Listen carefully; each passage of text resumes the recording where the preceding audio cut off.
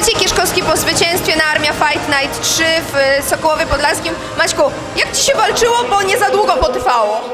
No, walka była szybka, wiedziałem, że w pierwszej rundzie go pokonam. Obiecałem to komuś i spełniłem.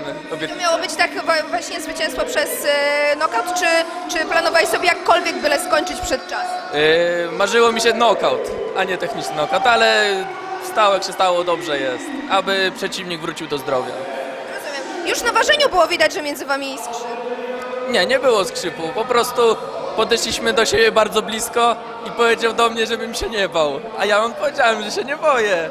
I się spytałem, czy jest na to gotowy. No i wyszło jak wyszło. Okej, czyli prawdziwe e, hollywoodzkie ważenie, nie takie zwykłe i nudne. Okej, gratulacje.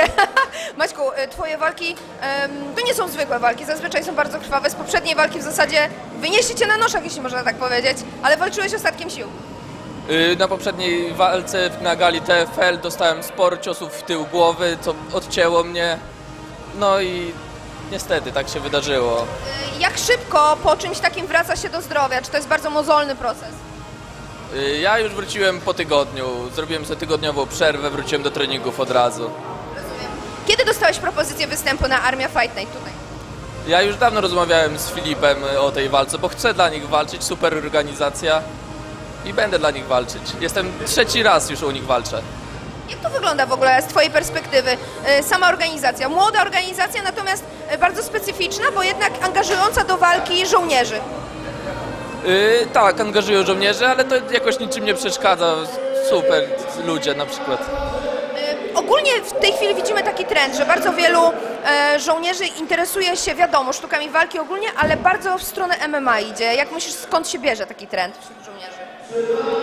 Yy, to taka walka wręcz, wszystko trzeba umieć i uciec, i wstać, i obalić kogoś, i stójka jest, i dlatego są wszechstronni. Nie tylko sam na przykład kickboxing czy boks. Wspomniałeś o tym, że e, podoba Ci się w organizacji Armia Fight Night. E, Jak to wygląda zakulisowo? Czy to jest tak, że Wy macie podpisane kontrakty na kilka walk, czy, czy to jest tak, że od gali do gali po prostu się dogadujecie na nowe warunki? E, Od gali do gali r- dogadujemy się. Ja jestem z Filipem, mam stały kontakt, raz się przygotowywaliśmy razem do walki na ostatniej gali. No i mam dobry z nim kontakt. E, Mamy końcówkę września, e, do końca roku jeszcze parę miesięcy zostało. Czy jeszcze zobaczymy Cię w klatce w tym czasie?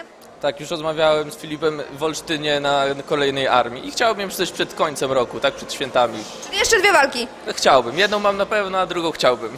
Niezłe tempo. Maćku, gratuluję Ci, dziękuję bardzo. W takim razie, jakbyś chciał kogoś pozdrowić, komuś podziękować, to śmiało. Pozdrawiam wszystkich kolegów, którymi się przygotowywałem ciężko, moją dziewczynę, rodziców, wszystkich bliskich.